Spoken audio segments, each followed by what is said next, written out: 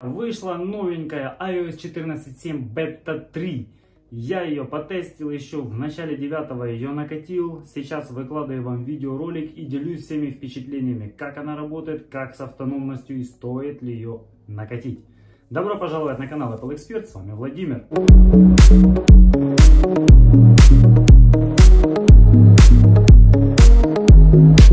А спонсор данного видеоролика MoneyBack, сервис, который поможет вам вернуть деньги за донат в играх с Play Market App Store.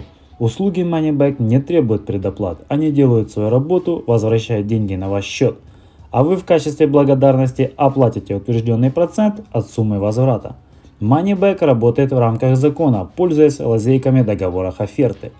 Вдруг вы в течение года надонатили в играх сотни долларов, тогда вам прямая дорога к менеджеру MoneyBack – по ссылке в описании и закрепленном комментарии.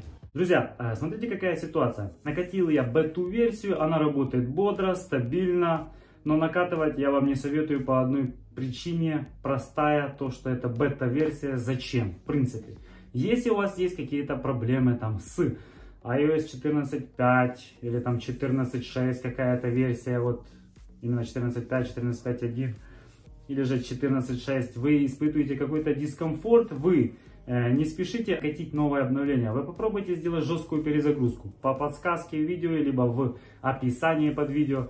Это действительно помогает вам сбросить э, эти ошибки, и ваше устройство перестанет греться, если у вас были какие-то проблемы. Либо же более радикальным путем это нужно переустановить iOS с помощью iTunes, зайти, сделать резервную копию и а, обратно с нее же восстановиться. Вы почистите память, сбросите весь ненужный кэш, все ошибки и в принципе получаете как с нуля устройство, но с вашими данными.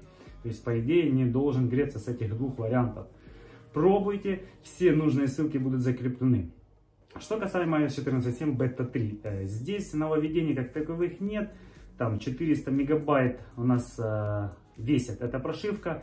В принципе, здесь э, ничего такого не описано. Какие-то баги э, якобы в системе внутри пофиксены, исправлены, направлено все на автономность, потому что в 14.6 автономность убилась, а якобы, по сути, нам прибавили э, производительность. Но в реальной жизни этого не видно. Какие-то доли миллисекунды, кому это, в принципе, интересно. Для меня лично важна автономность. А что для вас? Напишите в комментариях. А также хочу порекомендовать вам свой новый канал про спортбайк, который я приобрел. Зайдите, перейдите, первое видео уже есть. На момент, наверное, пока вы это все посмотрите, уже и будет второе видео. Будут годные советы, будем обмениваться разными данными кататься с людьми по городам, по месту и так далее. В общем, круто, весело. Перейдите, обязательно посмотрите этот канал и, конечно же, подпишитесь. Что касаемо данной прошивки, я вам не советую накатывать. То есть, если хотите, конечно, там можете накатить. Что касаемо iOS 15, почему нету первой беты, моего мнения, там, взгляда и так далее.